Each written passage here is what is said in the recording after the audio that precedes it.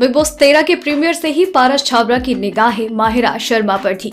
यही वजह है कि शो में वो माहिरा के आगे पीछे ही नज़र आते थे।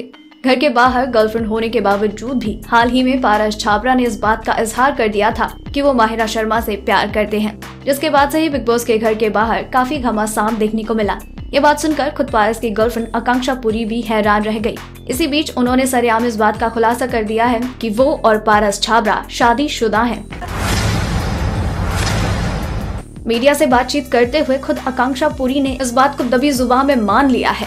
जब आकांक्षा से शादी की अफवाह के बारे में बात की गई तो सबसे पहले उन्होंने पूछा, क्या वाकई में मीडिया इस खबर को छापना चाहता है?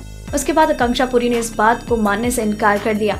वो बात अलग है कि आगे बातों ही बातों में आकांक्षा ने इस बात की तरफ़ इशारा किया।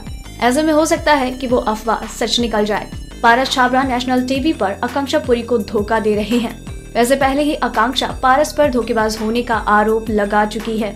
बिग बॉस के टेढ़े सीज़न की और भी कई टेढ़ी खबरें यूँ ही जानने के लिए बने रहिए हमारे साथ।